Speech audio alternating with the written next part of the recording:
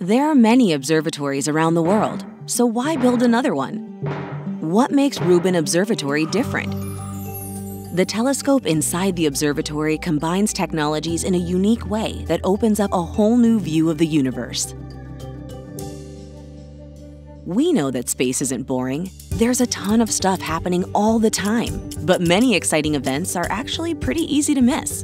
Sometimes they're really far away or don't give off much light, and sometimes we're just not looking in the right place at the right time. But that all changes with Rubin Observatory. Rubin Observatory's three mirrors collect light from a big area of the sky at one time. The telescope can move around the sky really fast, and it has a super sensitive camera, the largest ever built for astronomy. Working together, these features make Rubin Observatory great at detecting faint or faraway objects and catching temporary events like supernovae explosions or small objects that move across the sky, like asteroids. It's the first observatory designed to do all these things at the same time on this scale.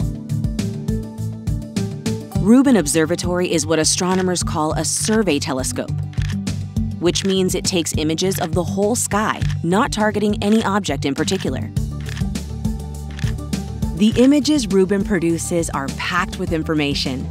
They're like treasure chests for astronomers.